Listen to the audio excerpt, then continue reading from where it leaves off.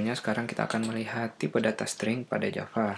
Tipe data string sendiri bisa berisi berbagai macam uh, karakter, bisa berisi huruf, bisa berisi teks yang panjang atau teks yang pendek, bisa berisi angka, bisa berisi tanda baca-tanda baca, dan lain-lain. Langsung saja saya kasih contoh, cara penulisannya adalah dengan kata string, lalu nama variabelnya, jika ingin diberi nilai langsung, maka dengan sama dengan, dan ini dia, untuk penulisan string, kita harus menggunakan tanda kutip dua, yang berada sebagai pembuka dan penutupnya, jangan lupa titik koma pada bagian terakhir.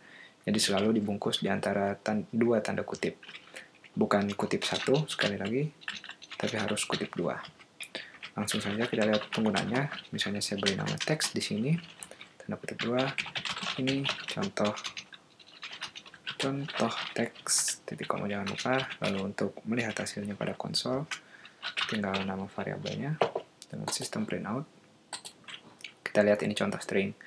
Misalnya saya mau punya string baru, saya bisa menjumlahkannya. Nama yang berikutnya misalnya teks 2 saya ingin uh, kata ini dijumlahkan atau digabungkan dengan teks sebelumnya.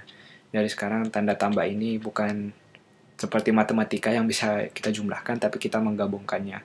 Jadi kalau saya melihat hasil teks 2, kita akan melihatnya seperti ini.